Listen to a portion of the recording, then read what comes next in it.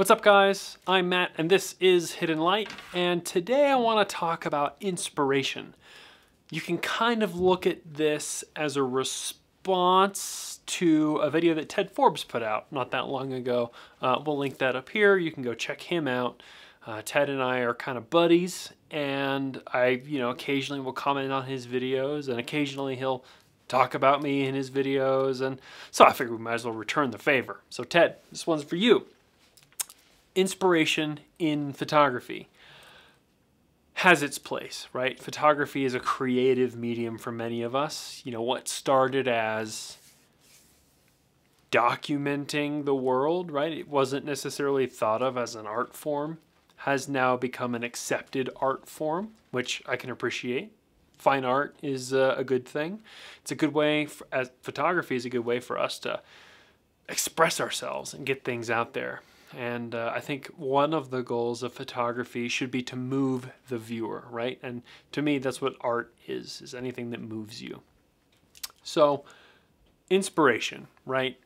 I have a couple of different thoughts on inspiration in photography. My first thought, and the thought that I learned growing up, doing photojournalism, doing uh, event photography, doing sports, which is kind of where my background was, was Inspiration is for amateurs.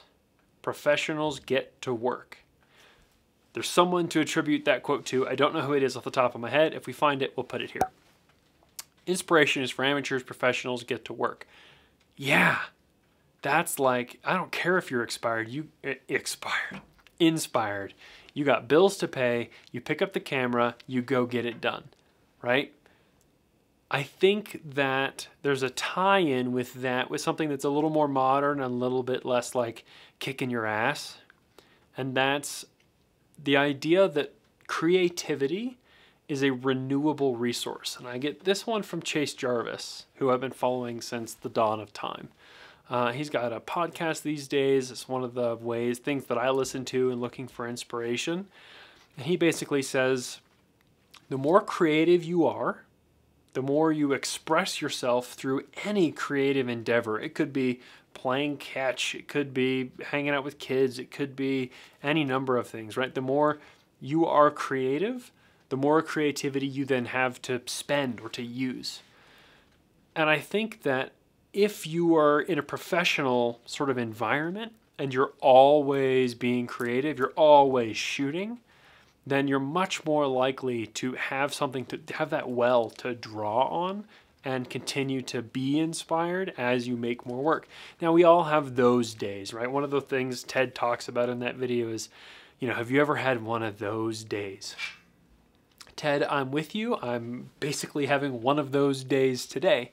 Uh, one of the things I like to do on video recording days is uh, sit down and record an old news segment. Uh, link that up here. But I can't do that if I don't have internet. So I spent four hours, five hours this morning diagnosing my internet troubles in our building. And it just, it's so hard to just get inspired and get after it and go make videos when you've just spent five hours pounding your head against the literal brick walls of whatever this building's issue was today with technology, right? So I totally get it. That being said, though, you can either let the not feeling it win, or you can force yourself, grit your teeth, buckle down, and get it done.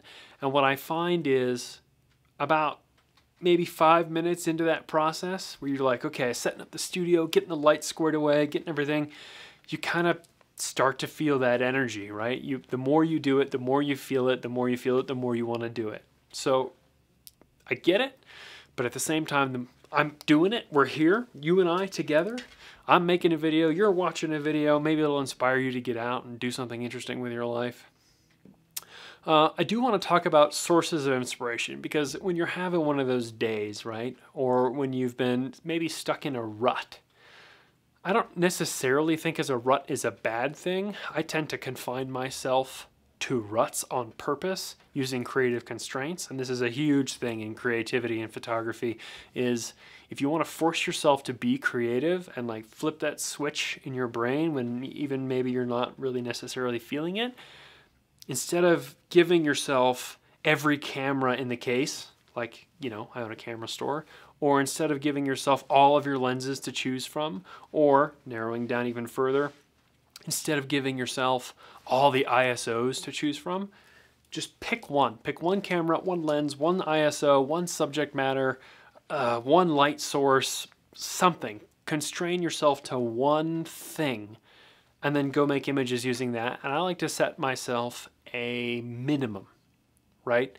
So what I'll do, or maximum sometimes, but what I'll do is I'll say uh, what I used to do when I was in college and I wasn't really feeling it, but I, I had to get out and shoot something, is I would take a challenge for myself. And I would say, okay, today I'm going to treat my $5,000 SLR like a disposable camera. And I'm going to set it to f11 at 1 125th of a second at ISO 400 tape the focus in a fixed focus point, tape over the back of the camera, and I'm gonna go shoot 27 exposures, and that's gonna be my roll of film for the day because I didn't I didn't have any money when I was in college, so I couldn't actually shoot film. Even though looking back, man, film was so much cheaper then than it is now. And even processing, ugh. When I was in college, you could go to CVS, Walgreens, one hour photos and get your film done for like six bucks in an hour. Ah, those were the good old days. Anyway, I would set myself creative constraints and force myself to go do that thing. And even if the images all turned out like shit, I got out of the house or dorm room and went and made something and was able to express myself within the limitations. Um, and I used to do that a lot, and I haven't been doing it quite that way recently. Instead, I'll pick one camera for the year. Like this year, it's the 8x10. And that's my creative constraint. Anything you want under the sun, but it's got to be this. So for 8x10, I know if I want to take a picture, it's going to take me 15 minutes to set up. And then maybe, hopefully, if the photography gods smile upon me, I can get something together. But even the process of setting it up becomes ritualistic. It becomes part of the creative experience, which is great. Uh, other sources, you know, external sources that I draw upon. I'm big into YouTube's, obviously. You know, there's a lot of cool people on YouTube. We'll, we'll just do a link list to all some, you know, some of the cool channels that I watch. I'm always hunting for cool new channels, but we'll give you a nice list there in the description. Uh, I like to watch movies too. Really well lit, well shot movies are like a huge thing for me. I will be the guy that sits there, is watching a great movie, uh, watch the whole thing start to finish.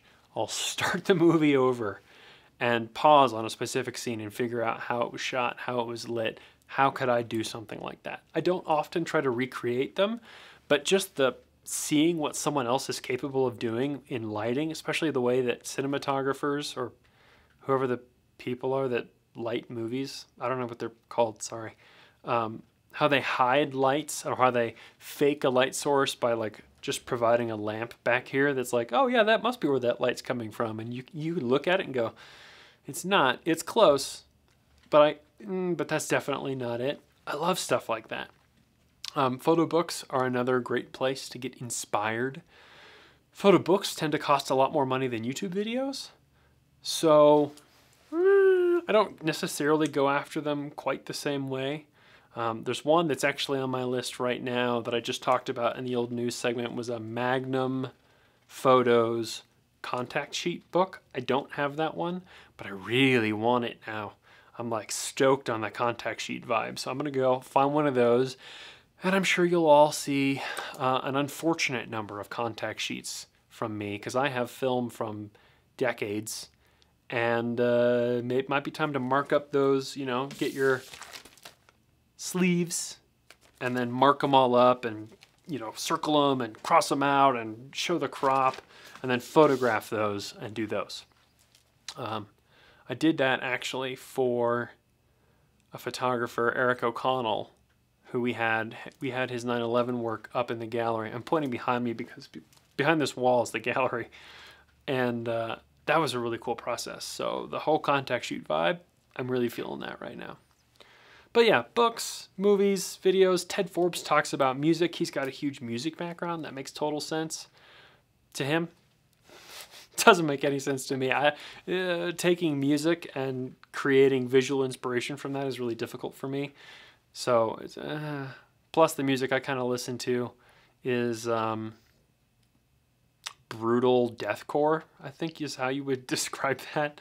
And that doesn't necessarily translate itself very well to the kind of photography that I do. It's, I don't know, it's a little different. I'm curious what you do think or feel about inspiration and its role in photography or art in general.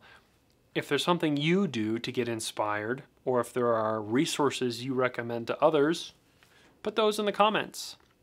I know a lot of you are the kind of people who watch these videos and then don't comment.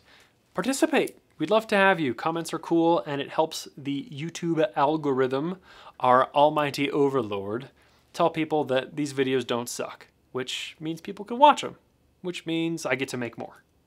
So uh, yeah, that's my general thoughts on inspiration.